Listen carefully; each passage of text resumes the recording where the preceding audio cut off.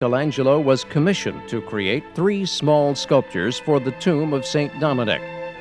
These were the statues of St. Petronius, who was the patron saint of Bologna, St. Proculus, and a kneeling angel holding a candelabra.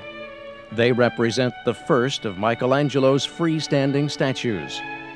In May of 1496, Michelangelo made his first visit to Rome.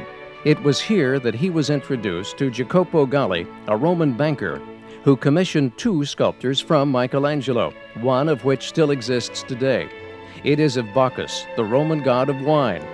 Behind him is another mythological figure, a goat legged satyr, who playfully nibbles at Bacchus's grapes.